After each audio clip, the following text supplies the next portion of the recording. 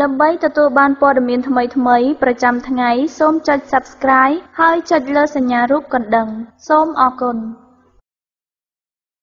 លោកសំរងស៊ីប្រកាសផែនការ5ចំណុចក្នុងពិធីបង្កើតចលនាសង្គ្រោះជាតិជាផ្លូវការក្រសួងការពារជាតិចិននឹងឧបត្ថម្ភរថក្រោះនិងរថពាសដែកចំនួន70គ្រឿងព្រមទាំងគ្រឿងចក្រចរណ៍ទៀតដល់ក្រសួងការពារជាតិកម្ពុជាគណៈបកសិទ្ធិមនុស្សបានជួលដំណឹងទៅក្រសួងមហាផ្ទៃអំពីការរំលាយបកនេះចោល ពលរដ្ឋមានចំនួនដីធ្លីនៅខេត្តក្រចេះចោតយោធាទៅដល់ផ្ទះពួកគាត់ចោលរួមនឹងព័ត៌មានសំខាន់សំខាន់មួយចំនួនទៀត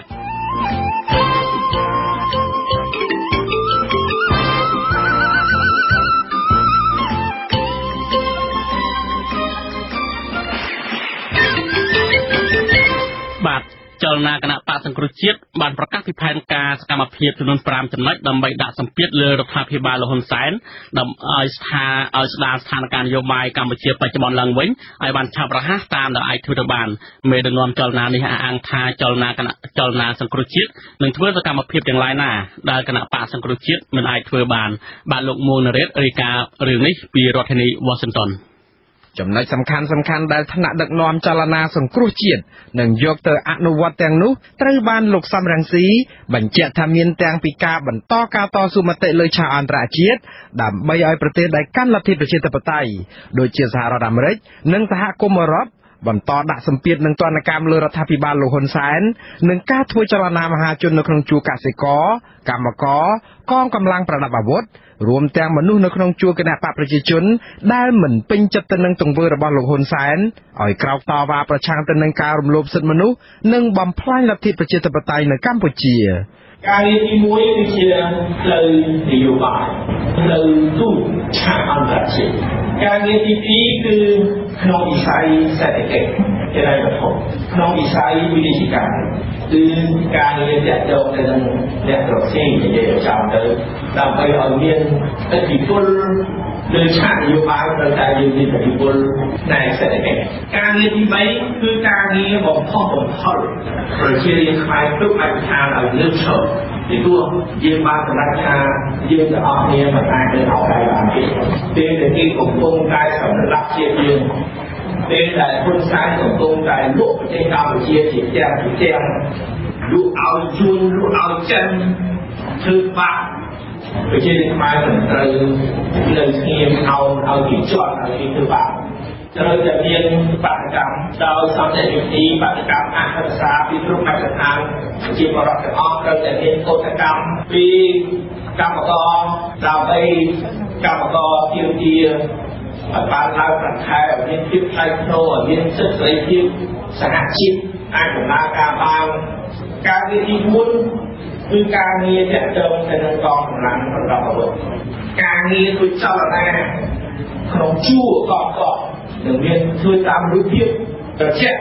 ច្រើនណាស់ច្រើនចាស់ការងារទី5គឺចលនាក្នុងជួរ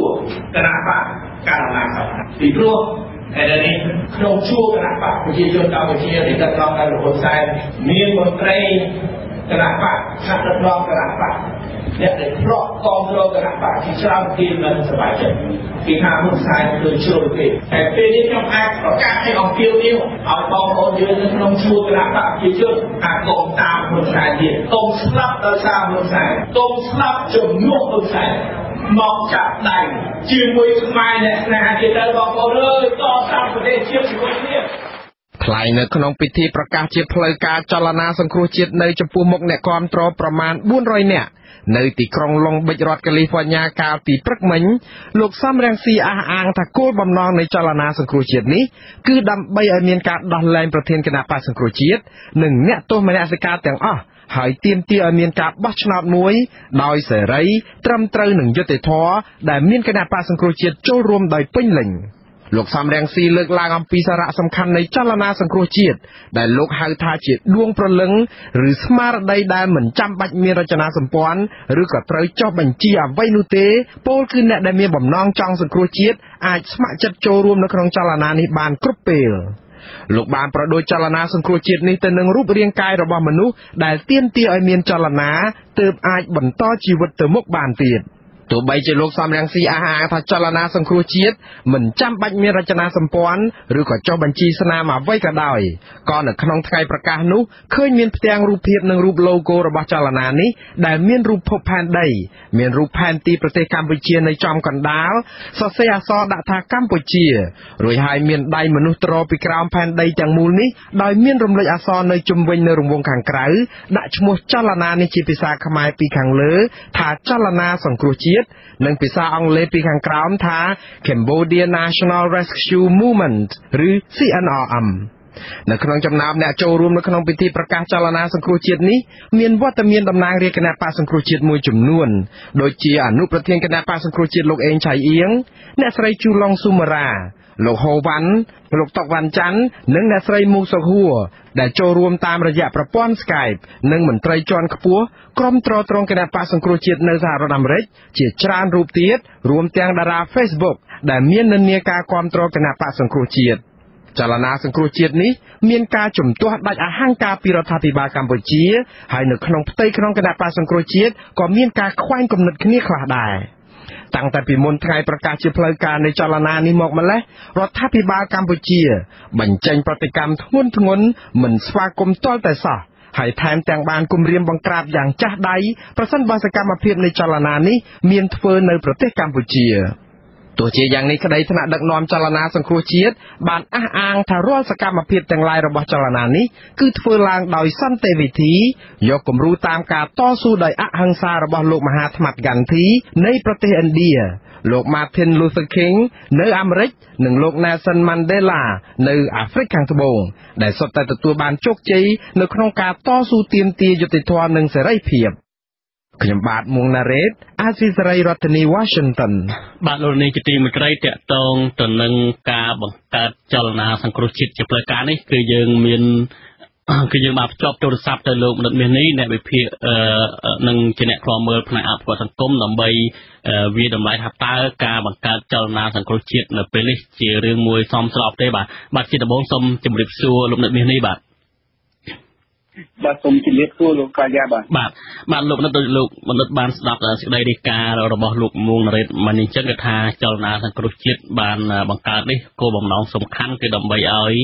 អឺលោកនាយករដ្ឋមន្ត្រីហ៊ុនសែនហ្នឹងងាកមកកាន់នៅរបបប្រជាធិបតេយ្យសេរីភោគបកឡើងវិញដើម្បីឲ្យគណៈបកសង្គ្រោះជាតិមានសិទ្ធិចូលរួមបោះឆ្នោតនៅឆ្នាំ2018នេះឡើងវិញ ហើយចលនានេះឃើញថាអ្វីដែលជាកត្តាសំខាន់ហ្នឹងគឺថាមានតែក្បាលដឹកនាំតែ3រូបទេប៉ុន្តែมันមានរចនាសម្ព័ន្ធទេតើលោកយល់ឃើញមើលឃើញនឹងលេចចំពោះការបង្កើតចលនាបែបនេះបាទបាទនេះខ្ញុំសូមធ្វើការអញ្ចឹងទស្សនៈដែលខ្ញុំជាអ្នកក្រៅទេហើយខ្ញុំក៏មិនជាអ្នកដែលត្រូវទៅជួបគ្រប់គ្រងជាមួយចលនានេះណាបាទ ប៉ុន្តែបើសិនជាខ្ញុំមើលពីជំរឹះរបស់សង្គមជាតិក្រោយពីការរំលាយត្រូវបានរដ្ឋាភិបាលរំលាយចោលហើយនោះគឺសង្គមជាតិក៏ត្រូវតែមានការទទួលខុសត្រូវមួយដែរដោយសារតែសង្គមជាតិនឹងមានអ្នកគ្រប់គ្រងនៅរហូតដល់ជាង3លានអ្នកបានអញ្ចឹងបើសិនជាសង្គមជាតិនៅស្ងៀមស្ងាត់អានឹងវានឹងធ្វើឲ្យអ្នកដែលគ្រប់គ្រងហ្នឹងគេនឹង អាចគេហៅរិះគន់ទៅលើសង្គ្រោះជាតិថាសង្គ្រោះជាតិរត់ចោលពលរដ្ឋអញ្ចឹងណារត់ចោលអ្នកគ្រប់គ្រងបាទចឹងនេះវាចោលណានេះជាជំរឹះក៏ជាជំរឹះមួយរបស់សង្គ្រោះជាតិតាមខ្ញុំមើលទៅណាក្រោយពីការពងចាំសម្ពាធអន្តរជាតិព្រោះសម្ពាធអន្តរជាតិនេះទីមួយវាមិនទៀងទាត់ហើយទីពីរទៀតកាលណាយើងនិយាយអំពីសម្ពាធអន្តរជាតិវាត្រូវការប្រើពេលវេលារបស់ប្រទេសដែល នឹងអាចពាក់ព័ន្ធក្នុងការដាក់សម្ពាធអីនេះគឺសុទ្ធតែជាប្រទេសដែលជាកម្មវិធីប្រកាន់លទ្ធិប្រជាធិបតេយ្យដែលអញ្ចឹងការសម្រេចផ្សេងផ្សេងគឺត្រូវស្ទង់ទៅលើប្រព័ន្ធគ្រប់គ្រងរដ្ឋរបស់គេបាទអញ្ចឹងប្រព័ន្ធគ្រប់គ្រងរដ្ឋកាលណាមិនមានការសម្រេចជាអាចឆាន់ចេញពីប្រព័ន្ធរដ្ឋទេអញ្ចឹងការសម្រេចចិត្តទៅលើការដាក់កណកម្មឬក៏ការគិតសង្កត់ណាមួយគឺត្រូវការប្រើពេលវេលាអញ្ចឹងបើសិនជាសង្គ្រោះជាតិក្រំតែនៅចាំរងចាំ តែការគៀបសង្កត់ពីអន្តរជាតិនេះវានឹងអាចធ្វើឲ្យអឺស្ថានភាពនៃការតស៊ូរបស់សង្គមជាតិចេះតែស្ងាត់ទៅស្ងាត់ទៅហើយនឹងអាចធ្វើឲ្យអ្នកដែលគ្រប់គ្រងតាមមូលដ្ឋានហ្នឹងមកបំការគ្រប់គ្រងអញ្ចឹងណាឬក៏អស់សង្ឃឹមបាទអញ្ចឹងអានេះខ្ញុំមើលទៅវាជាបើយើងមើលនៅក្នុង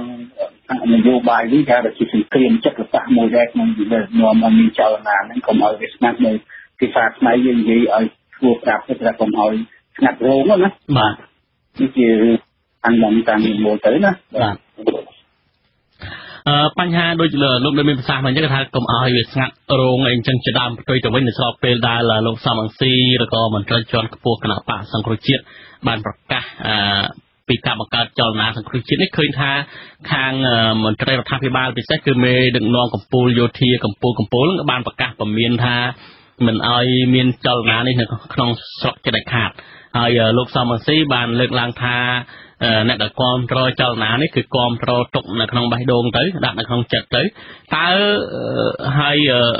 លោកសំអង្ស៊ីបានលើកឡើងសំខាន់ទៀតថាទោះបីមនុស្សយើងក៏ដោយគណៈបកនយោបាយក៏ដោយដោយលោកដូចមានប្រសាសន៍មកនេះត្រូវតែមានចលនាតើចលនានេះអាចកាត់ទៅរួចទេនៅក្នុងស្រុក បាទរឿងសំខាន់ទី1យើងឃើញថាដែលអារម្មណ៍សំស៊ីក៏លើកឡើងហ្នឹងថាសង្គ្រោះជាតិនេះចលនានេះគឺចលនាដើម្បីឈានទៅរកការទាមទារឲ្យមានអ្វីអ្វីនេះឲ្យត្រូវត្រឡប់មកឋានភាពធម្មតាវិញណាបាទក៏ប៉ុន្តែក៏ជាតិក៏ត្រូវមានការប្រុងប្រយ័ត្នដែរបើសិនជាចលនានេះវានឹងคล้ายទៅជាបញ្ហាមួយដែលធ្វើឲ្យបែកបាក់នៅក្នុងសង្គមជាតិអានឹងវាមិនបានចំណេញទេទេវាទៅជាខាតខ្លួនឯងទៅនេះហើយ នឹងវាអាស្រ័យទៅលើអ្នកដឹកនាំសង្គមជាតិថាតើគេនឹងធ្វើតាមនេះជាមួយគ្នាដើម្បីឲ្យចលនាហ្នឹងវាខ្លាយទៅចលនាជួយសង្គមជាតិកុំឲ្យចលនាហ្នឹងទៅបំផ្លាញសង្គមជាតិណាបាទនេះបើយើងមើលពីទិសដៅដែលគាត់បានលើកឡើងណាបាទបាទបាទហើយសម្រាប់ការប្រកាសរបស់រដ្ឋាភិបាលអានេះជារឿងធម្មតាទេបាទនៅក្នុងសង្គមប្រទេសណាក៏ដោយតែណាមានចលនានៅតែប្រឆាំងរដ្ឋាភិបាលរដ្ឋាភិបាលគេទៅតាមមើលហើយ ដូចឥឡូវនេះវាទាក់ទងការចោទប្រកាន់បដិវត្តពណ៌ផងសូម្បីតែមានការប្រជុំតូចតូចនៅតាមភូមិអីក៏ត្រូវមានការស៊ើបអង្កេតពីកងកម្លាំងអាជ្ញាធរមូលដ្ឋាននេះមកនឹងឋានភាពនៃសុខស្មារតីយើងបច្ចុប្បន្នហ្នឹងណាបាទបាទបាទជាងអបសេរីបការបរដ្ឋាភិបាលវាជានៅការពីពួកឯងដើម្បីយើងដឹងស្រាប់ហើយថាការយកឆន្ទៈពលរដ្ឋប្រមាណជាង3លាននាក់យកទៅ យើងឲ្យយកទៅលុបចោលក៏បំផ្លាញចោលទៅក្នុងរយៈពេលមួយថ្ងៃហ្នឹងរដ្ឋាភិបាលត្រូវតែមានការប្រុងប្រយ័ត្នទៅនឹងវិញមកបីរៀបលាក់ដល់សិនជាមិនបានទិចទួលទេមនុស្សទាំងអស់នេះគាត់នឹងទៅឈរដេកទៅលើផ្លូវហ្នឹងក៏រដ្ឋាភិបាលមិនដឹងថាត្រូវធ្វើម៉េចជាមួយនឹងមនុស្សបីរៀបនេះហ្នឹងបាទអញ្ចឹងជាការប្រយ័ត្នរបស់គឺបាទអឺនៅក្នុង ការប្រកាសបង្កើតចលនាសង្គ្រោះជាតិនេះឃើញថាលោកសំរងស៊ីបានប្រកាសពីផែនការសំខាន់សំខាន់5ចំណុចខ្ញុំសូមជម្រាបសួរលោកនិតចំណុចទាំង5នេះគឺសួរម្ដងមួយចំណុចទី1គឺថាចលនានេះនឹងធ្វើការការទូតហើយនឹងការតស៊ូមតិលើឆាកអន្តរជាតិបន្ថែមទៀត តើ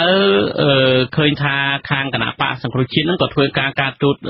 មួយចំនួនដែរកន្លងមកហ្នឹងគេຕ້ອງការតស៊ូមតិការទាមទារឲ្យសហគមន៍អន្តរជាតិដាក់គំនិតទៅលើរដ្ឋាភិបាលតើការបដិញ្ញាចំណុចទី1នឹងនឹងមានប្រសិទ្ធភាពប៉ុណ្ណាទៅលោកអាចបាទអឺរឿងប្រសិទ្ធភាព មានឬមិនមាននោះអានេះខ្ញុំមិនទាន់ហ៊ានថាទេក៏ប៉ុន្តែសម្រាប់សហគមន៍អន្តរជាតិគឺអ្វីដែលខ្ញុំធ្លាប់ឮសូគេនិយាយគឺថាហ្នឹងវាអាស្រ័យទៅលើខ្មែរដែរបើមិនខ្មែរយើងមិនខ្វល់ទេក៏មិនដឹងថាឲ្យគេជួយយ៉ាងម៉េចណានេះយើងមិនសូវដែលអឺអ្នកការទូតអីគេនិយាយថារឿងជារឿងរបស់ខ្មែរអញ្ចឹងបើខ្មែរមិនខ្វល់ទេអឺគេក៏មិនដឹងថាជួយយ៉ាងម៉េចបាទអញ្ចឹងវាបើយើងមើលអំពីយុទ្ធសាស្ត្រនៃការ គាំពៀឬបន្តស៊ូមតិនៅលើឆាកអន្តរជាតិអានេះបើយើងនិយាយឲ្យមែនទែនទៅជារបៀបមួយគឺដើរគួតទ្វារដើម្បីរំលឹកគេឲ្យគេតាមមើលគេឃ្លាំមើលទៅលើស្ថានភាពនយោបាយក្នុងប្រទេសខ្មែរបាទបាទបាទនេះវាជាកិច្ចការខ្ញុំគិតថាសង្គមជាតិបានធ្វើរឿងនឹងកន្លងមកហើយដែរបាទបាទ តកតងខ្មែរខ្វល់មិនខ្វល់នេះនៅក្នុងផែនការ5ចំណុចហ្នឹងក៏មានការបំផុសចលនានឹងមានថាលោកសំស័យហាក់បីដូចជាបំផុសចលនានេះឲ្យខ្មែរខ្លួនឯងខ្វល់អំពីបញ្ហាដែលនៅក្នុងស្រុកដែរគឺពិសេសបំផុសចលនាកម្មករកសិករដែលលោកធ្លាប់មានប្រសាសន៍ថាលើកឡើងថាចលនានេះនៅដំណាក់កាលណាមួយហ្នឹងគឺបំផុសឲ្យបរដ្ឋទាំងអស់ងើបតវ៉ាប្រឆាំងរដ្ឋាភិបាលប្រជាការរបស់លោកហ៊ុនសែនយ៉ាងម៉េចដែរលោកបាទចំណុចនេះ អឺខ្ញុំមិនហ៊ានធ្វើអធិប្បាយទេព្រោះថាខ្ញុំក៏មិនចង់ឃើញឲ្យមានភាពចលាចលណាមួយដែលធ្វើឲ្យប្រទេសយើងនេះវិលទៅក្រោយទៅរកសង្គ្រាមស៊ីវិលវិញណាព្រោះបាទសង្គ្រាមនៅប្រទេសវាគ្រប់គ្រាន់ហើយក៏ប៉ុន្តែអឺខ្ញុំគិតថារដ្ឋាភិបាលក៏មានមានមកកាលពីឆ្នាំ2013ណាដែលយើងឃើញថាជំនុំអ្នកក្រសង្គមជាតិកើនពី មកលាន8រហូតដល់2លាន9នៅក្នុងតែរយៈពេលមួយឆ្នាំនេះនៅឆ្នាំ2010 2012និង2013ណាបាទបាទចំណុចនេះវាអាចសញ្ញាមួយដែលរដ្ឋាភិបាលត្រូវតែមានការព្រួយបារម្ភពីចំនួនដែលគ្រប់គ្រងនេះវាសំខាន់វាមិនឡើងទៅវាឡើងលឿនពេកណាបាទចឹងបានជាយើងឃើញក្នុងរយៈពេល5ឆ្នាំចុងក្រោយនេះរដ្ឋាភិបាលបានព្យាយាម ធ្វើអ្វីដែលសំដែងយ៉ាងល្អដើម្បីចង់បានប្រជាប្រិយភាពនឹងវិញក៏ប៉ុន្តែដល់ពេលមកមើលឆ្នាំ2017នេះអឺឃើញថាការខំប្រឹងប្រែងទាំងអស់នេះវាថាដូចជាបានលទ្ធផលនេះវាទៅជួយគេបានចឹងវាការជួយបារម្ភរបស់គណៈកម្មការនេះគឺត្រូវតែមានណាស់ដោយសារតែការធ្លាក់ចុះនៅការគ្រប់គ្រងនេះវាមានចំនួនច្រើនណាបាទបាទ តកតងទៅនឹងការធ្លាក់ចុះនៃការគ្រប់គ្រងក៏មានមូលហេតុមួយចំនួនដែរដែលយើងមើលឃើញហើយក៏ស្ថិតនៅក្នុងរបៀបវិរៈឬក៏ផែនការទាំង5ចំណុចរបស់ចលនាសង្គ្រោះជាតិនេះដែរចលនាទី3គឺថា បញ្ហាសេដ្ឋកិច្ចហើយនិងពាណិជ្ជកម្មអឺមូលហេតុចម្បងដែលធ្វើឲ្យប៉ះពាល់ដល់ប្រជាប្រិយភាពរបស់គណៈបកសង្គ្រោះជាតិទាក់ទងនឹងបញ្ហាសេដ្ឋកិច្ចពាណិជ្ជកម្មនេះដែរពលគឺថារដ្ឋាភិបាលបានផ្ដល់ដីសម្បទានសេដ្ឋកិច្ចទៅឲ្យក្រុមហ៊ុនមួយចំនួនការធ្វើពាណិជ្ជកម្មដោយបពពួកក្រមមន្ត្រីក្រាក់ក្រាក់របស់រដ្ឋាភិបាលបានប្រព្រឹត្តអំពើពុករលួយហើយលោកសំអង្សេប្រកាសថា បើរដ្ឋាភិបាលសង្គ្រោះជាតិឈ្នះនិងពិនិត្យមើលឡើងវិញចំពោះការផ្ដល់ដីសម្បត្តិសេដ្ឋកិច្ចពិសេសអាចនឹងរឹបអូសឬក៏បិទបញ្ចប់ការវិនិយោគរបស់ក្រុមហ៊ុនទាំងនោះទោះបីកាលពីថ្ងៃការប្រកាសនេះមិនបានមិនទាន់បានប្រកាសពិតប្រាកដអំពីការធ្វើពាក្យហិការមិនទិញផលិតផលប្រើប្រាស់របស់ក្រុមហ៊ុនមួយចំនួនក៏ដោយឃើញថាលោកអេងឆៃអៀងក៏ធ្លាប់បង្ហើបដែរថានៅពេលណាមួយខាងមុខឆាប់ឆាប់នេះ ចលនានេះនឹងប្រកាសពហិការមិនទិញផលិតផលណាដែលតាក់ទងទៅនឹងមន្ត្រីរបស់គណៈបកប្រជាជនកម្ពុជាទេចំណុចទី3នេះយ៉ាងម៉េចដែរលោកនិតបាទបាទសម្រាប់ដីសម្បទានសេដ្ឋកិច្ចនេះខ្ញុំគិតថាមិនមែនតែសង្គមជាតិទេដែលត្រូវគិតបានសូម្បីតែរដ្ឋាភិបាលបច្ចុប្បន្ននេះក៏ត្រូវគិតតែអំពីបញ្ហាដីសម្បទានសេដ្ឋកិច្ចនេះណាបាទយើងដឹងថាដីសម្បទានសេដ្ឋកិច្ច នេះគឺចាប់ផ្ដើមប្រកាសជាផ្លូវការជាផ្លូវច្បាប់នេះគឺចាប់នៅក្នុងឆ្នាំ2011បាទហើយក្រោយពីការប្រគល់ដីសម្បទានសង្កត់សន្ធាប់ទៅនេះគឺអ្វីដែលជាអឺទិន្នន័យដែលយើងខ្ញុំនៅចាំហ្នឹងគឺដីកសិកម្មប្រមាណជាជាង60%ទៅ70%ណាតែរបាយការណ៍វាមានខុសៗគ្នាប៉ុន្តែខ្ញុំឃើញពីភាគច្រើននិយាយពីរឿងពី60ទៅ70%នៃដីកសិកម្មរបស់យើងដែលមានហ្នឹងគឺ បានត្រូវប្រគល់ទៅឲ្យដីសម្បត្តិសេដ្ឋកិច្ចនេះបាទទៅអាចមានក្រុមហ៊ុនវៀតណាមក្រុមហ៊ុនចិនក្រុមហ៊ុនខ្មែរអញ្ចឹងទៅអ្នកមានអញ្ញាខ្មែរអីហ្នឹងឃើញហ្នឹងគេបានទៅដីសម្បត្តិអញ្ចឹងនៅក្នុងពេលនេះខ្ញុំគិតថារដ្ឋាភិបាលមានការធ្វើប្រហែលបន្តិចដោយសារតែខ្ញុំមិនដឹងថានេះជាមន្ត្រីថ្នាក់ក្រោមច្រើនពេកយ៉ាងម៉េចទេតែដោយសារការប្រគល់ដីសម្បត្តិនេះវាប៉ះពាល់ទៅដល់ការរស់នៅរបស់អ្នកស្រុកនឹងច្រើនពេកហើយខ្ញុំក៏ជាអ្នកស្រាវជ្រាវច្រើនទៅលើរឿងនេះដែរដែល ពេលខ្លះយើងស្ងល់ថារបាយការណ៍មកឡើងនៅលើប៉ុន្តែជាដីដែលរិចរិលក៏ប៉ុន្តែដល់ពេលយើងទៅមើលដែលខ្ញុំដើរស្បដើរទៅក្នុងតំបន់នោះហ្នឹងកន្លែងខ្លះព្រៃដើមមិនឃើញថ្ងៃផងប៉ុន្តែគឺនៅពាក្យថានៅរិចរិលចឹងទៅយើងអត់ដឹងអត់ដឹងថាអឺហេតុអីបានជាដីធម្មជាតិនឹងឲ្យទីមួយឲ្យច្រើនពេកហើយក្នុងរយៈពេលមួយខ្លីហើយក៏មិនបាន ជាទៅសុំយោបល់ឬការវិភាគការអីជាមួយអ្នកនៅក្នុងមូលដ្ឋានដែរបាទនេះជាកំហុសមួយដែរដែលធ្វើឲ្យយើងឃើញថាក្រោយពីឆ្នាំ2011ពេលដែលដីសម្បត្តិសេដ្ឋកិច្ចចាប់ផ្ដើមបង្កើនរបៀបនេះគឺយើងឃើញថាការតវ៉ារបស់ពលរដ្ឋគឺមានគ្រប់ទិសទីទាំងអស់រហូតដល់ហើយយើងដឹងថានៅក្នុងស្នាមួយនេះក៏ខ្សែបានចុះថាមានការតវ៉ាយ៉ាងតិច3ទៅ4កន្លែងនៅក្នុងទីក្រុងភ្នំពេញនៅក្នុងមួយថ្ងៃមួយថ្ងៃបាទបាទប៉ុន្តែគឺសិតតែជា អ្វីដែលកើតឡើងពីការផ្ដល់នៅដីសម្បត្តិសង្គមកិច្ចនេះដោយមិនបានមានការស្នខ្លែងការសិក្សាច្បាស់លាស់ហើយប៉ះពាល់ដល់ការរស់នៅរបស់អ្នកអ្នកស្រុកហ្នឹងបាទក៏ប៉ុន្តែខ្ញុំមិនគ្រប់គ្រងពាក្យថារឹតតុកទេបាទអ្វីដែលអាយដាមសំជីលើកឡើងពាក្យថារឹតតុកនៃសម្បត្តិនេះក៏វាមិនជាពាក្យមួយដែលសំស្របព្រោះយើងដឹងថាគាត់សូមសម្រាប់ដកហូតអាញាប័ណ្ណរបស់ក្រុមហ៊ុននោះវិញបាទ បាទអានេះអានេះរៀនមុននឹងយើងទៅដកហូតវាទៅការសិក្សាសិក្សាដែរតែឥឡូវនេះយើងដឹងហើយយើងទទួលស្គាល់ថាទិន្នន័យថ្នាក់ជាតិគឺពលរដ្ឋខ្មែរប្រមាណជាជាង48%កសិករសង្គមពលរដ្ឋខ្មែរកសិករខ្មែរជាង48%នេះគាត់មានដីតែ1ហិកតាទេបាទអញ្ចឹងដោយសារអីគឺដោយសារតែយើងមកក្រៅដីសម្បត្តិនឹងវាច្រើនពេកទៅលើអឺ ទៅឲ្យក្រុមហ៊ុនក៏ប៉ុន្តែយើងមិនបានគិតអំពីតម្រូវការសម្រាប់ជីវភាពរស់នៅរបស់កសិករណាបាទប៉ុណ្ណឹងបើសិនជាយើងធ្វើឲ្យបានសមឲ្យមានសមធម៌គឺទីមួយរដ្ឋតែមានការទទួលខុសត្រូវមួយក្នុងការពិនិត្យមើលឡើងវិញអំពីជីវភាពទឹកប្រកបថាតើពលរដ្ឋខ្មែរនោះ ត្រូវមានទៅបានដីត្រូវគាត់ត្រូវការដីប្រមាណដើម្បីឲ្យគាត់អាចរស់បានព្រោះឥឡូវនេះវាមានអ្នកដីតូចហើយក៏មានអ្នកដែលដើរជាសកលចាប់ដីលុកទៅពីប្រទេសពេញនឹងដែរវាស្មុគស្មាញបញ្ហាទីធ្លីដែលយើងនិយាយឲ្យយុទ្ធធម៌នៅនោះបាទបាទអញ្ចឹងវាត្រូវមានការថ្លៃរវាងដីសម្បត្តិសង្គមកិច្ចហើយនិងដីសម្បត្តិសេដ្ឋកិច្ចបាទ ទាំងពីរនេះគឺត្រូវទៅទៅទាំងអស់គ្នាបាទបើមិនជាយើងឲ្យទៅដីសម្បត្តិសង្គមអសេដ្ឋកិច្ចនេះខ្លាំងខ្លាពេកដូចជាខ្ញុំបានរៀបរាប់មិញប៉ុន្តែពលរដ្ឋខ្លួនឯងអត់មានដីសម្រាប់ធ្វើស្រែចម្ការនោះអានេះការចំណាក់ស្រុកអីសពថ្ងៃនេះក៏ដោយសារតែលក្ខខណ្ឌនៃដីតូចរស់អត់បានគឺត្រូវទៅធ្វើការចំណាក់ស្រុកថ្ងៃបានអញ្ចឹងរឿងនេះវាត្រូវតែគិតមិនមែនត្រូវតែសង្គមជាតិត្រូវគិតទេសូម្បីតែរដ្ឋាភិបាលបច្ចុប្បន្នក៏ត្រូវគិតអំពីដីសម្បត្តិសេដ្ឋកិច្ចដែរប៉ុន្តែសម្រាប់ ធ្វើពាណិជ្ជកម្មអឺដូចជាធ្វើពាណិជ្ជកម្មឬក៏ទិញសម្ភារៈបាទបាទពាក់ព័ន្ធទិញលទ្ធផលអានេះគឺការតស៊ូមតិដែលមិនមែនគេធ្វើតែនៅក្នុងប្រទេសខ្មែរយើងទេបាទដូចជាក្នុងលក្ខខណ្ឌដែលយើងស្គាល់អំពើអញ្ចឹងខ្ញុំមានចូលមានថាគេមានទៅធ្វើការតវ៉ាទៅជែករហូតដល់ក្រុមអ្នកទិញស្ករអំពើនៅអឺរ៉ុបនៅអីចឹងបាទនេះវាជាការតស៊ូ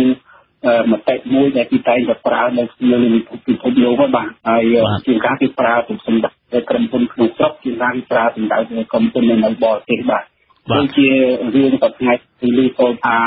មានការដាក់ទណ្ឌកម្មអីឲ្យយកពួនឬមិនយកអីទំនិញនាំចេញដូចនៅស្រុកខ្មែរយើងនេះអានេះវាសិតមានការតស៊ូមតិដែលមិនមែនតែស្រុកខ្មែរយើងធ្វើនៅស្រុកដទៃក៏គេធ្វើដែរហើយពិសេសនៅក្នុងប្រទេសដែល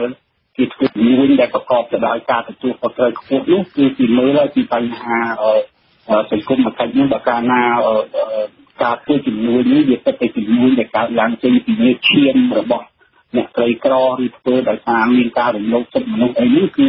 គេត្រូវពិចារណាថាតើគេត្រូវទិញពីក្រុមហ៊ុននេះឬក៏មិនគួរទិញអានេះវាពិតតែជារឿងដែលវាពាក់ព័ន្ធគ្នានៅក្នុងសកលលោកភាពវិទ្យាកម្មបច្ចុប្បន្ននេះបាទពិសេសប្រទេស ចំប្រទេសនេះគឺពីមើលណារឿងអស់នេះរឿងហើយតើរបស់ដែលយកមកនេះគឺរបស់ឈាមវាឈាមរបស់គេជារបស់ដែលកើតមកពីការរំលោភសិទ្ធិមនុស្សឬក៏ជារបស់ដែលបានមកដោយមានការទទួលខុសត្រូវខ្ពស់ពីក្រុមហ៊ុនដែលមានផ្ដល់នូវយុត្តិធម៌សង្គមនៅក្នុងប្រទេសនេះនៅក្នុងតំបន់នេះបាទ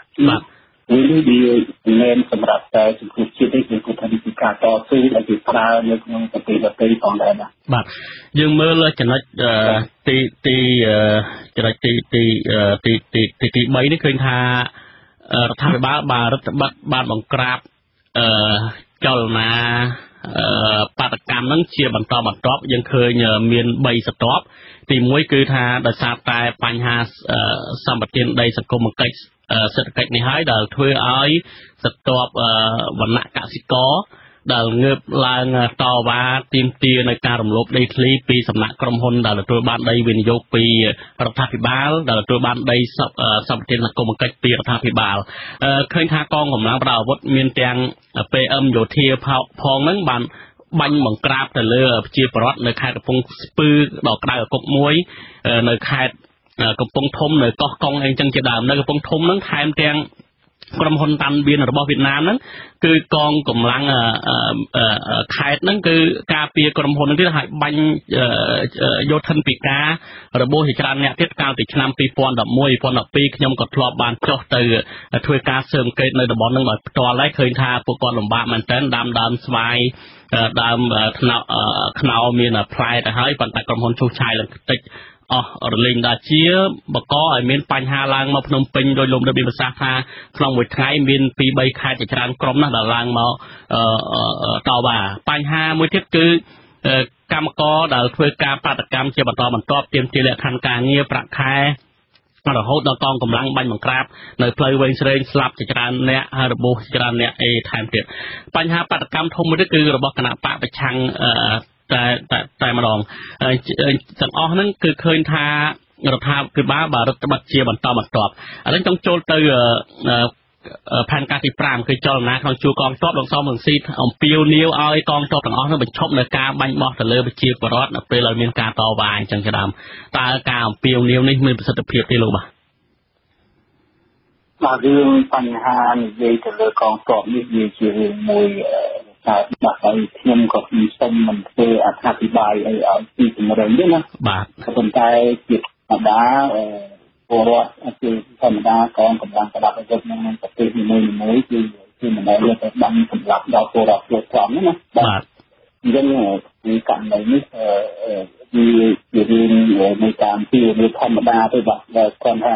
រឿងដែលខុសសម្រាប់ថាខ្ញុំតែទៅទៀមទាថាឲ្យពីថាឲ្យកម្លាំងប្រដាប់អាវុធបែរចំណងអីទៅណាមិនអានេះវាខុសណាតែបើយើងថាតាមជាវាខ្ញុំកុំឲ្យ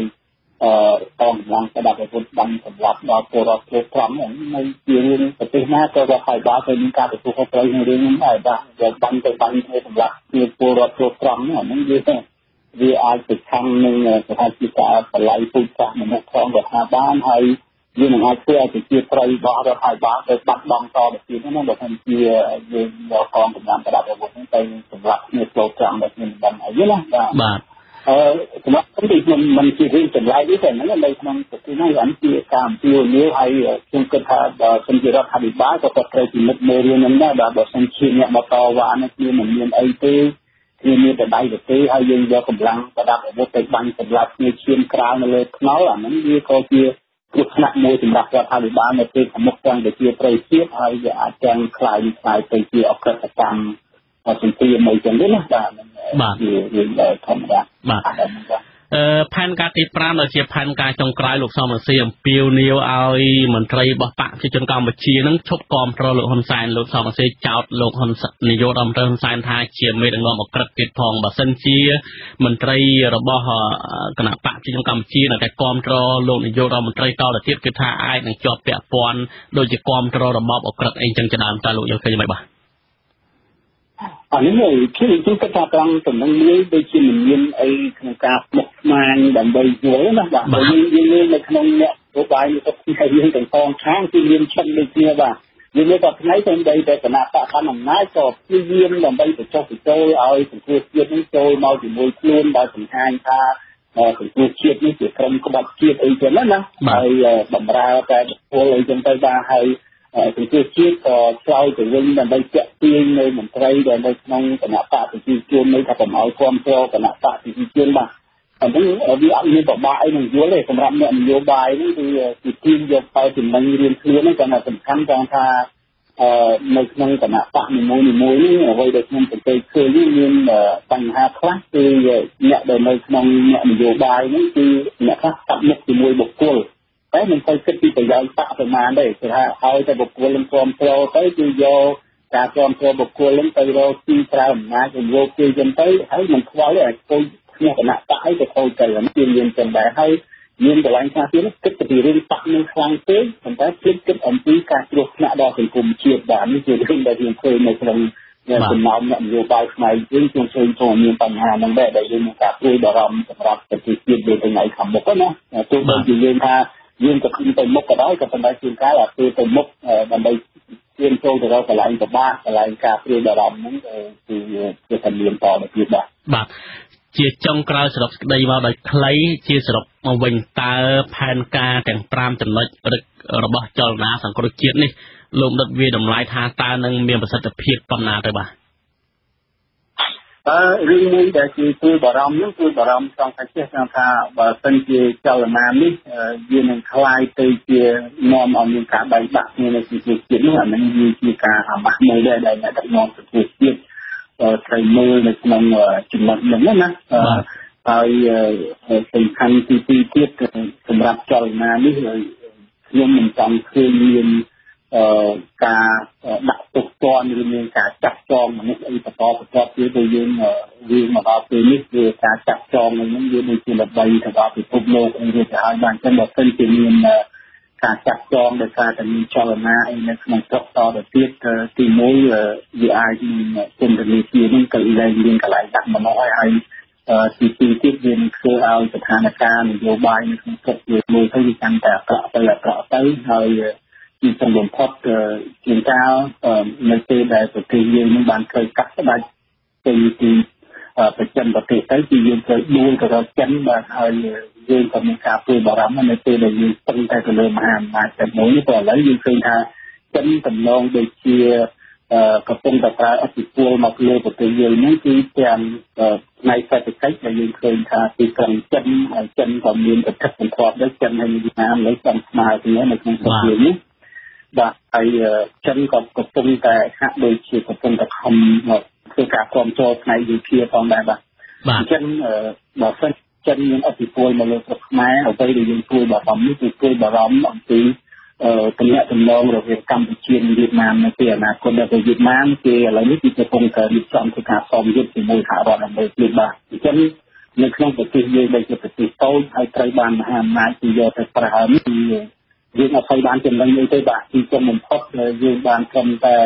តោះទ្រព្យសម្បត្តិពីក្នុងសង្គមនៅក្នុងប្រទេសយើងទៀតហើយទីបំផុតគឺអ្នកដែលចំណេញគឺមហាអំណាចបាទហើយ ខ្ញុំគិតគឺវាបាទលោកលោកមិត្តចង់កាប្រសាសន៍តិចលោកមិត្តតកតងទៅនឹងរដ្ឋាភិបាលងារចិននេះឃើញថានៅថ្ងៃនេះលោកហ៊ុនសែនក៏បានស្នើឲ្យជប៉ុនមកជួយមើលការធ្វើពិនិត្យការបោះឆ្នោតនៅពេលខាងមុខដែរដោយសារជប៉ុនជាប្រទេសមួយដែលជួយទាំងផ្នែកសម្ភារៈនិងបច្ចេកទេសកន្លងមកនឹងតើជប៉ុននឹងព្រមតាមទេមើលទៅបាទសូមតែខ្លីបាទ ហើយបើជើងនិយាយមើលទៅជប៉ុនមកដល់ពេលនេះហាក់ដូចជាមិនទាន់មានពលិសូនិយាយអីឲ្យក្រុងក្តាំងទេហើយខ្ញុំ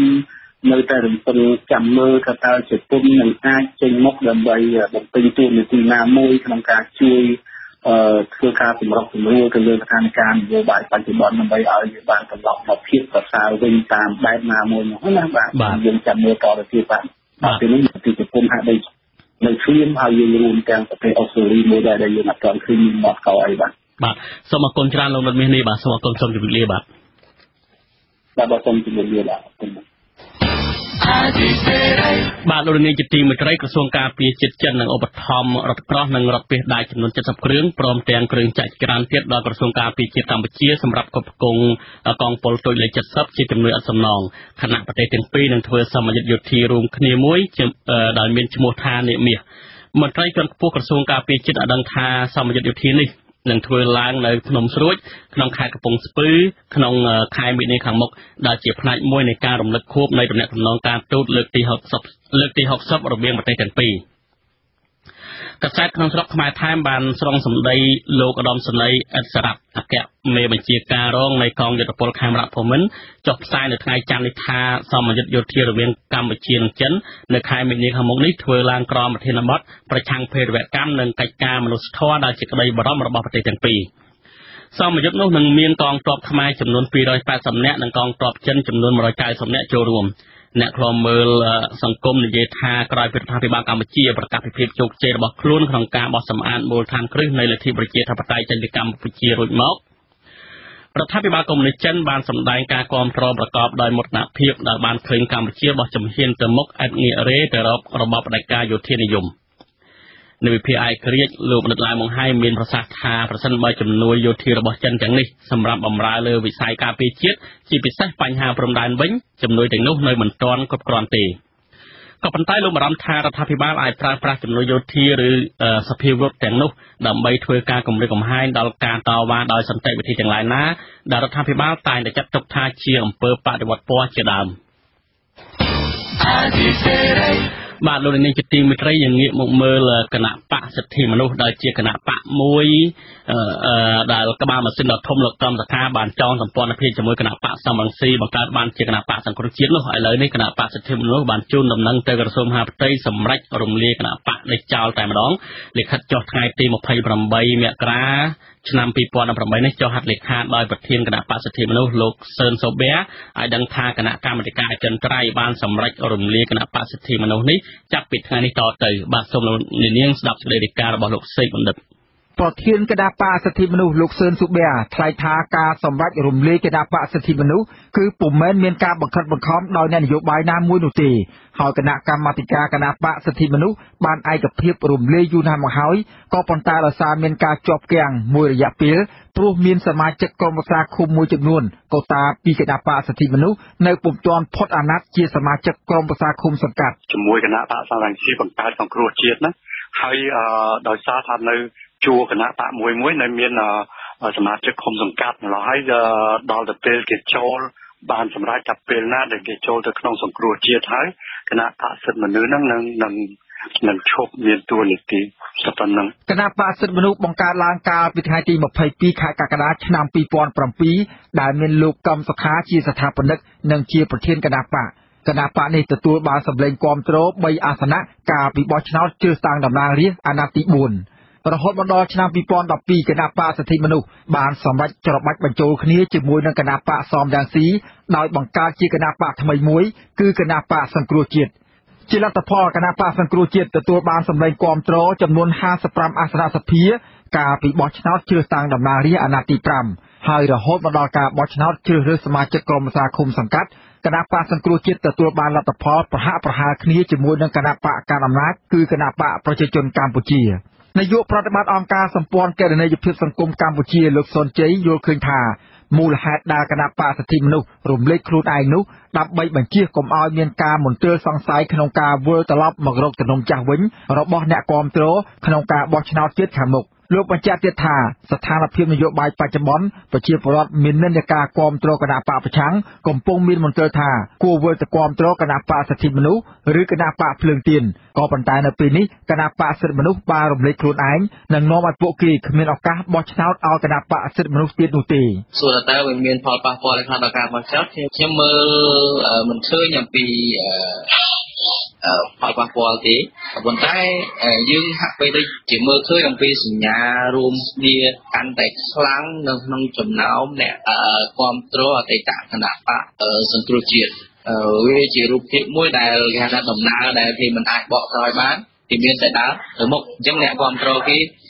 ក៏នឹងមានការយល់ទៅតាមនឹងដែរ អ្នកវិភាគបញ្ហានយោបាយយល់ឃើញថាស្ថានភាពនយោបាយបច្ចុប្បន្នប្រជាពលរដ្ឋដែលមាននិន្នាការគាំទ្រគណៈបកសង្គ្រោះជាតិកំពុងរារែកនៅក្នុងការសម្រេចចិត្តនិងកំពុងអត់មើលថាតើចំហាយរបស់គណៈបកសង្គ្រោះជាតិនឹងទៅជ្រកក្រោមគណៈបកណាដែលពួកគេនឹងបន្តគាំទ្រគណៈដែលគណៈបកសង្គ្រោះជាតិត្រូវបានរដ្ឋាភិបាលរំលាយចោលកាលពីខែវិច្ឆិកាឆ្នាំ2017 ស្ថាបនិកបង្កើតគណៈបកសិទ្ធិមនុស្សនិងជាប្រធានគណៈបកសង្គ្រោះជាតិលោកកំសុខាត្រូវបានរដ្ឋាភិបាលចាប់ខ្លួនកាលពីថ្ងៃទី3ខែកញ្ញាឆ្នាំ2017ដោយចោទថាក្បត់ជាតិដែលការចោទនេះត្រូវបានសហគមន៍ជាតិនិងអន្តរជាតិមើលឃើញថាជារឿងនយោបាយមកទល់នឹងពេលនេះលោកកំសខាកំពុងជាប់ឃុំនៅក្នុងពន្ធនាគារត្រពាំង plong ខេត្តត្បូងឃ្មុំអស់រយៈពេល5ខែមកហើយខ្ញុំសេកបណ្ឌិត អាស៊ីសេរីពីរដ្ឋធានី Washington បាទលោកនាយកជាទីមេត្រីតកតងទៅនឹងការបោះឆ្នោតនៅពេលខាងមុខនេះគឺថាលោកនាយរដ្ឋមន្ត្រីហ៊ុនសែនស្នើសុំឲ្យជប៉ុនជួយគាំទ្រនិងបញ្ជូនអ្នកសង្កេតការណ៍មកកម្ពុជាដើម្បីតាមដានដំណើរការបោះឆ្នោតថ្នាក់ជាតិនៅពេលខាងមុខរីឯអង្គការសង្គមស៊ីវិលយល់ថាសហគមន៍អន្តរជាតិរួមមានជប៉ុនផងនឹងចូលរួមគាំទ្រការបោះឆ្នោតនៅកម្ពុជាប្រសិនបើស្ថានភាពនយោបាយវិលទៅរកភាពប្រក្រតីឡើងវិញនោះបាទពីរដ្ឋធានីវ៉ាស៊ីនតោនលោកជាតិចំណានរាយការណ៍ ជំនួបការងាររវាងលោកនាយករដ្ឋមន្ត្រីហ៊ុនសែនជាមួយរដ្ឋលេខាធិការក្រសួងការបរទេសជប៉ុន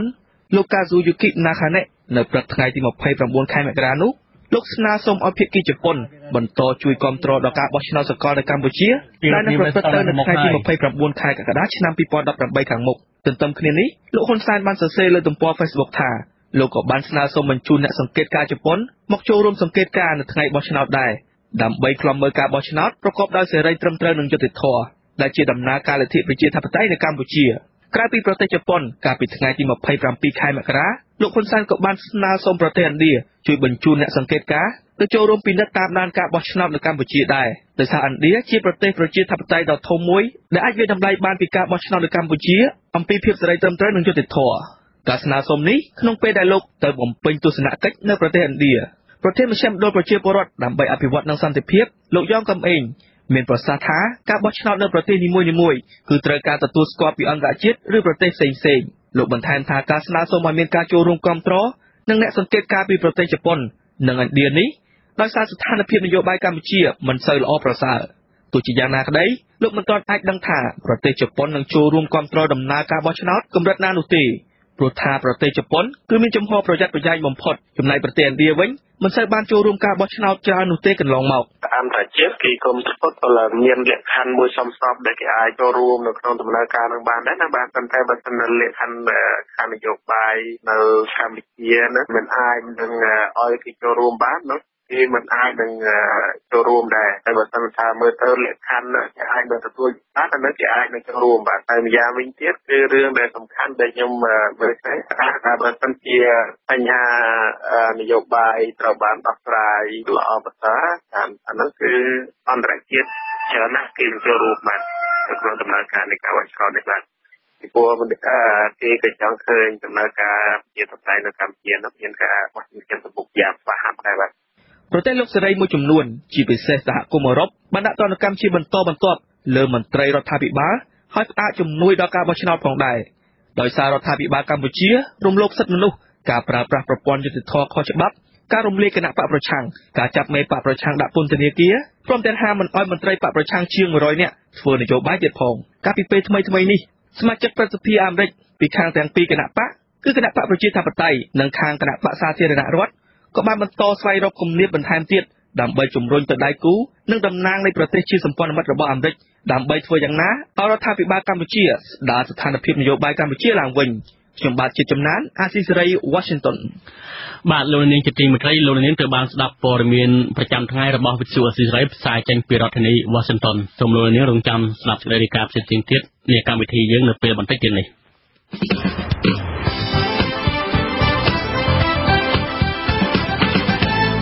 បាទលោកនាងកញ្ញានិងប្រិយមិត្តអ្នកស្ដាប់ជាទីមេត្រី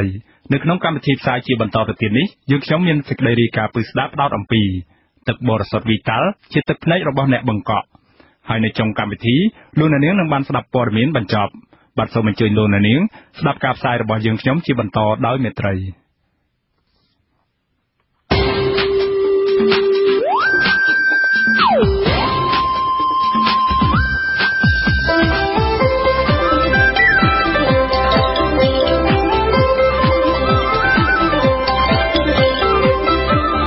ក្តីរាយការណ៍ពិស្ដា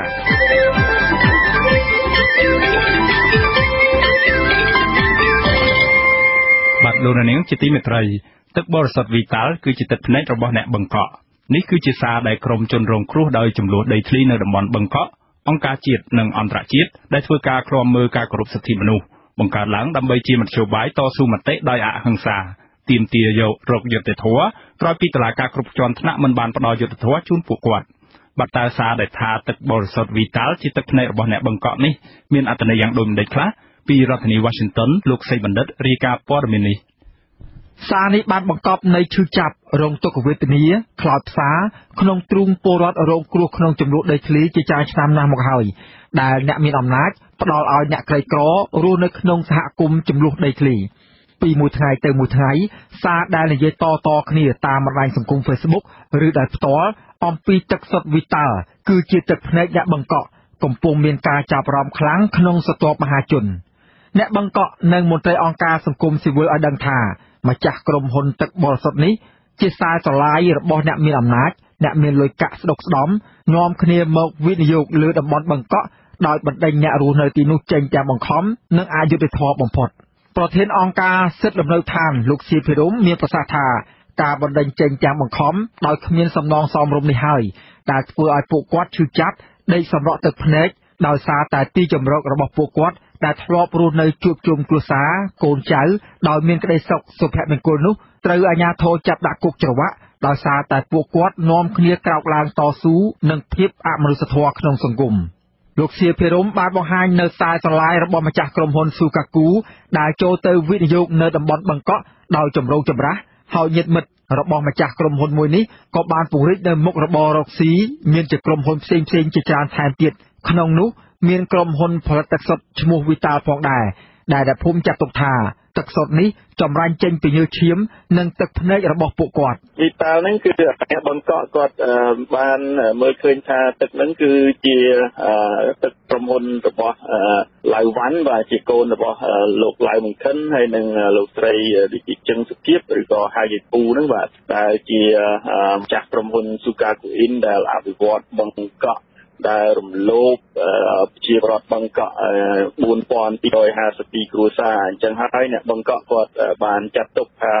ទឹកវីតានគឺជាទឹកភ្នែករបស់គាត់បាទគឺជាទឹកភ្នែករបស់អ្នកបង្កក់ជាង4000គ្រួសារដែលគេ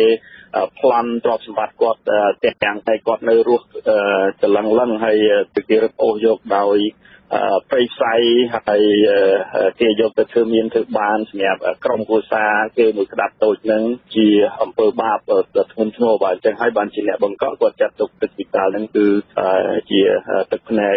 អ្នកបង្កក់បាទមូលហេតុដែលនាំឲ្យមានទំនាស់ដីធ្លីនៅតំបន់បង្កក់ដោះស្រាយបញ្ចេញនេះគឺដោយសារតែរដ្ឋាភិបាលបានសម្រេចផ្ដល់ការវិនិយោគក្រោមហេតុផលថាសម្បទានដីសេដ្ឋកិច្ចកាលពីឆ្នាំ2007រយៈពេល99ឆ្នាំ ក្រុមហ៊ុនដែលទទួលបានសិទ្ធិវិនិយោគនេះគឺបានទៅលើក្រុមហ៊ុនដែលជាមនុស្សជិតស្និទ្ធនឹងលោកហ៊ុនសែនឈ្មោះក្រុមហ៊ុនស៊ូកាគូរបស់សមាជិកព្រឹទ្ធសភាចាស់វសា គឺលោកឡៅមេងខិន មកពីខាងគណបកប្រជាជនកម្ពុជាអស់រយៈពេលប្រមាណ10ឆ្នាំកន្លងមកនេះប្រជាពលរដ្ឋរាប់រយគ្រួសារបានក្លាយទៅជាជនរងគ្រោះរហូតមកដល់សពថ្ងៃហើយក្នុងចំណោមនោះម្ចាស់ដីខ្លះធ្លាប់រងការវាយជេរប្រមាថនិងជាប់ពន្ធនាគារឥតលហែថែមទៀតផង សកម្មជនបង្កក់ក៏បានបញ្ជាក់អំពីមូលហេតុនៃការបង្កើតសារដែលថាទឹកបរិសុទ្ធវីតាល់គឺជាទឹកភ្នែកអ្នកបង្កក់នេះជាទម្រង់នៃការតស៊ូមតិតាមបែបអហិង្សាប្រឆាំងនឹងការរំលោភដីធ្លីរបស់ប្រជាពលរដ្ឋដោយការបញ្ជាក់របស់លោកសៀភិរមដែរសកម្មជនដីធ្លីជាស្ត្រីមួយរូបមានប្រសាសន៍ថាសារនេះ គឺជាការអំពាវនាវមួយឲ្យមហាជនទូទៅដែលស្រឡាញ់យុត្តិធម៌សង្គមសូមកុំទិញកុំគាំទ្រឬពិសាទឹកបរិសុទ្ធវីតានោះតែម្ដងហើយអ្នកបង្កក់ខ្លួនឯងផ្ទាល់ក៏រួមគ្នាផ្លេសការមិនទិញមិនលក់ដូរមិនពិសាទឹកបរិសុទ្ធនេះឡើយចាប់តាំងពីមានចំនួនខ្លាំងក្លានៅតំបន់បង្កក់នោះពួកខ្ញុំក៏បានមកឃើញថាមានគេមួយចំនួនក៏បានមិន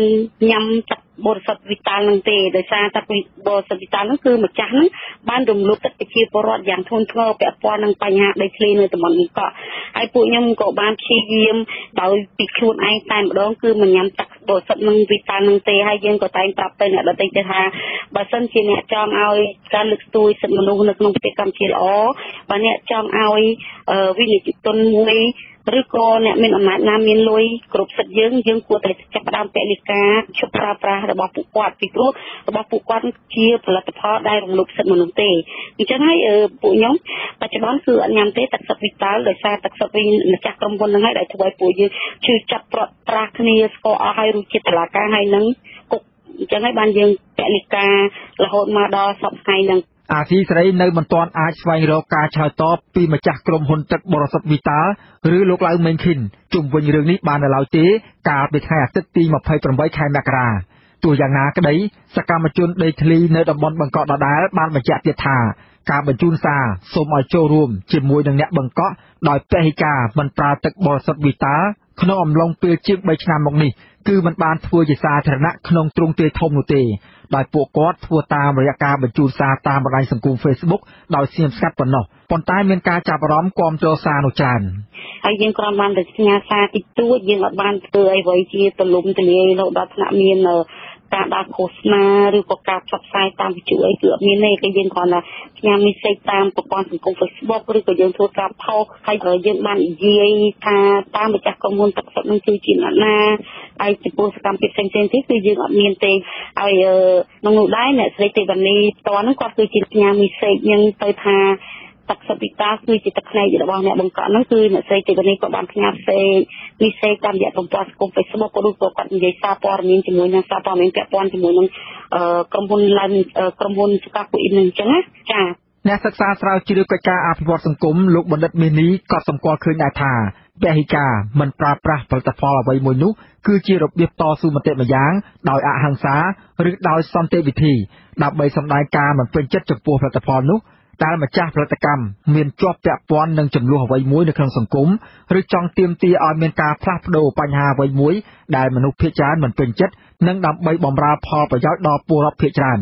លោកសង្កេតឃើញទៀតថាទម្រង់តស៊ូមតិបែបនេះគេនិយមធ្វើច្រើននៅក្នុងប្រទេសលើពិភពលោកក៏ប៉ុន្តែសម្រាប់បរិបទនៅក្នុងប្រទេសកម្ពុជា ការធ្វើពហិការបែបនេះហាក់កំពុងចាប់ផ្ដើមនិងនៅមានកម្រិតនៅឡើយវាអាស្រ័យទៅលើការផ្សព្វផ្សាយបើបើសិនការផ្សព្វផ្សាយនេះធ្វើទៅទលំទលាយហើយមានប្រសិទ្ធភាពមានជារចនាសម្ព័ន្ធនេះត្រឹមត្រូវអាហ្នឹងវាអតិពលវាមានណាមិនអត់ទេវាអាចធ្វើឲ្យក្រុមហ៊ុននឹងត្រូវអខានក៏អាចដួលរលំបើសិនជាការធ្វើនេះវាមានគេហៅថាមានអតិពលខ្លាំងខ្ញុំបានឮសូរពាក្យនឹងហាក់ដូចជាមានការចែកចាយទៅច្រើនកន្លែងដែរហើយទៅតាមខេត្តចិត្តទៅនៅបាត់ដំបងអីខ្ញុំទៅនឹងរឿងដែរហើយលក់ទឹកវាយតើទឹកទីតៅនៅបាត់ដំបងមានការពំតែថាទឹកនោះលក់អត់ដាច់ទេពីដើមធ្លាប់4 5កេសមួយថ្ងៃលក់តែមួយកេសមិនអស់អញ្ចឹងណាទន្ទឹមគ្នានោះដែរក៏មានសារមួយទៀតដែរដែលនិយាយថាស្ករឈាមគឺជាផលស្ករអំពៅដែលក្រុមហ៊ុនឯកជនផលិតនៅលើទឹកដីភូមិករផលដំណាំដែលជាញើសឈាមពលរដ្ឋក្រីក្រ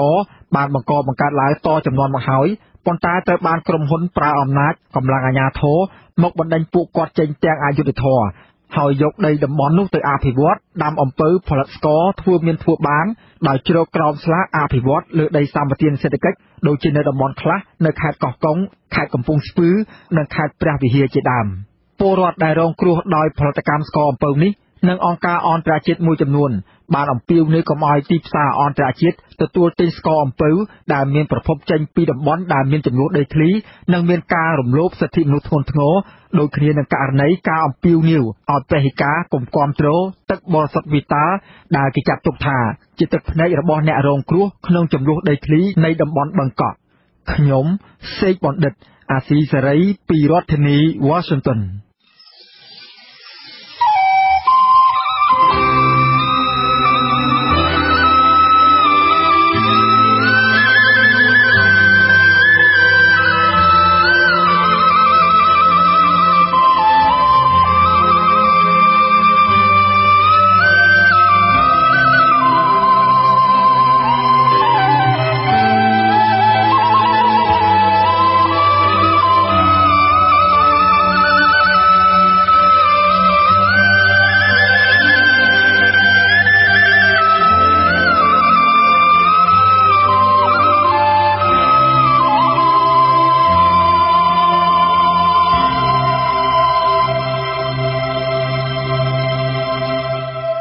លោកនាងជាទីមេត្រីជាបន្តទៅទៀតនេះខ្ញុំបាទទីនសាករាសូមជូនព័ត៌មានបញ្ចប់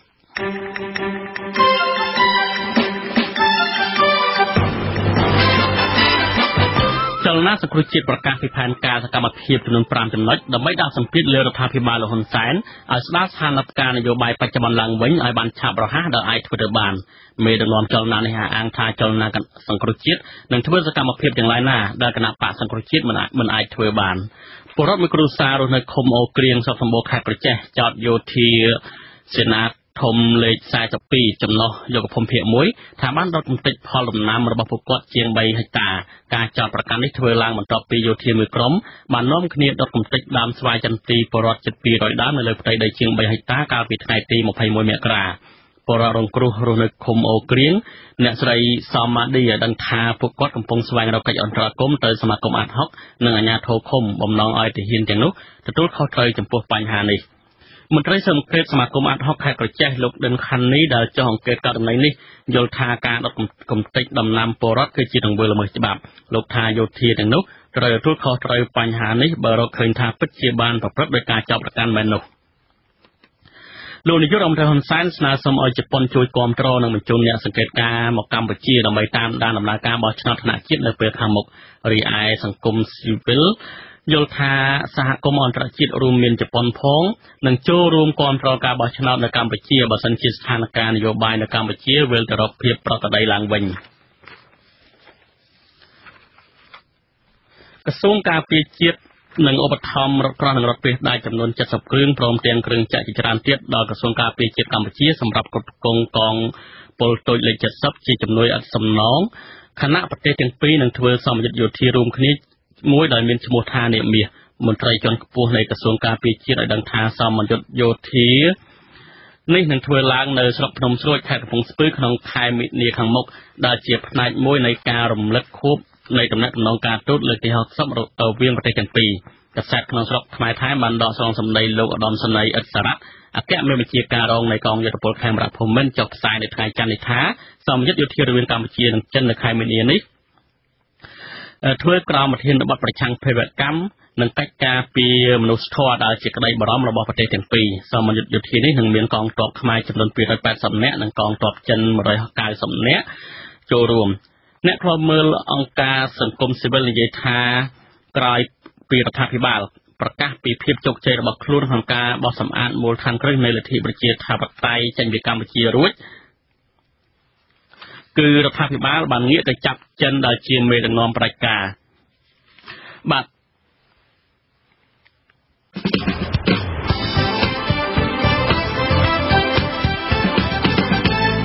បាទលោកនាងប្រិយមិត្តអ្នកស្ដាប់ជាទីមេត្រីកម្មវិធីផ្សាយរយៈពេល1ម៉ោងនៃវិទ្យុអាស៊ីសេរីជាភាសាខ្មែរនៅពេលនេះចប់តែប៉ុណ្ណេះយើងខ្ញុំសូមជូនពរដល់លោកនាងព្រមទាំងក្រុមគ្រួសារទាំងអស់ឲ្យជួបប្រកបតែនឹងសេចក្តីសុខចម្រើនរុងរឿងកុំបីឃ្លៀងឃ្លាតឡើយ ខ្ញុំបាទមានរិទ្ធខ្ញុំបាទធីនសាការីយ៉ាព្រមទាំងក្រុមការងារទាំងអស់នៃវិទ្យុអាស៊ីសេរីសូមអរគុណនិងសូមជម្រាបលាសូមជម្រាបលា